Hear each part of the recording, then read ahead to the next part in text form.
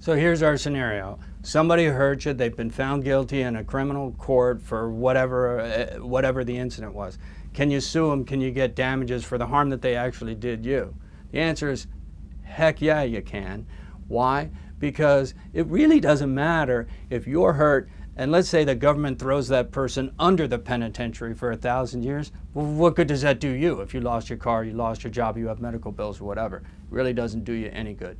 You can recover in a private lawsuit against that person. Two things you're going to want to do. Number one, stay in touch with that prosecutor, make sure that prosecutor stays in touch with you.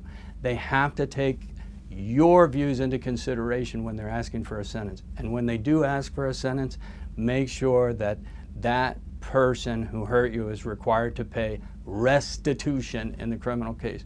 You don't even need to know what it means, just remember the word restitution. And if that person's ordered to pay restitution, you're going to be way, way better off if you have to sue them in order to get made whole.